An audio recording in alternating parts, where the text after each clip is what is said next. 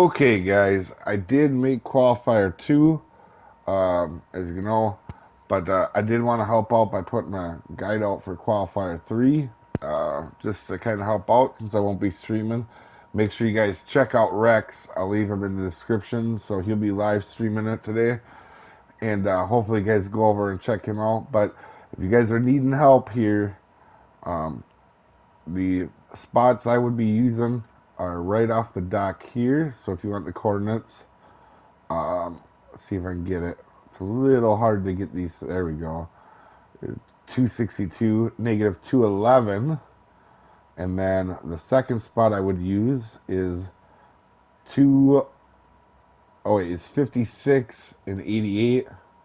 And then the middle of the lake here at um, 192, negative 45. There is two more spots you could use here and you could use back here in this corner, but honestly, they're not going to be really worth that much. And remember, guys, to get out to this spot, you're going to need a waggler. So uh, just keep that in mind.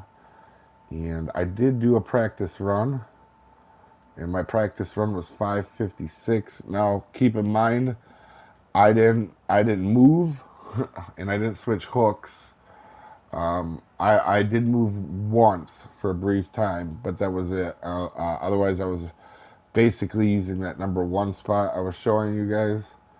And uh, definitely large minnows and large cut bait seem to work best.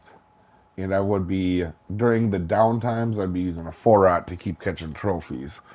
So the score, you could, in theory, get 600, I feel like, here. Um, but hopefully this will help you guys out. And uh, I won't be in qualifier three because once you make a qualifier, you're not allowed to go on. But hopefully this helps you out, guys. See you next time.